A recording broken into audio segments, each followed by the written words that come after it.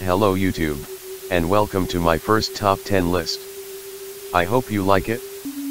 Firstly this list is a matter of opinion, and is not based in science. I'm joking of course, my opinion is fact. Now why don't we jump into this list, firstly, the worst Kong has to be number 10, Diddy Kong, he is a self-centered, megalomaniac, egotistical sociopath. Overall the worst Kong, next we have number 9, Donkey Kong, do I even have to say why he is this low on this list? Do I? Fine.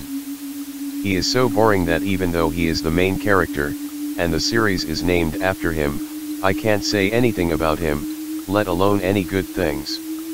He is so boring that they gave him a tie. A tie. I can only assume they did this to make him more than just a monkey, moving onward, we have number 8, Dixie Kong, after that shocking entry we have number 7, Kiddy Kong, oh dear lanky what in the Fresh Prince is that unworldly monster? Get it out? Get it out?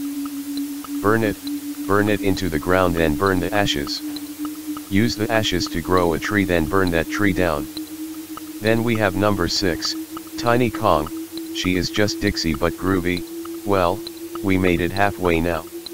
So at the number 5 spot we have, Candy Kong, asterisk cough asterisk cough mammal asterisk cough, next we have number 4, Cranky Kong, he was the OG Kong, I think, okay, we reached the top 3, if you didn't already, make sure that you say you love your family at least 3 times a month, at the number 3 spot we have, Swanky Kong, I was definitely not given 10 Benjamin Franklins to put him on this list, reaching the number 2 entry is, Chunky Kong, he may be a stinky brained monkey, finally, we are at the number 1 spot, but before we reach the best Kong, we should go over the honorable mentions, firstly, we have, Wrinkly Kong, she is dead, so she didn't make the list.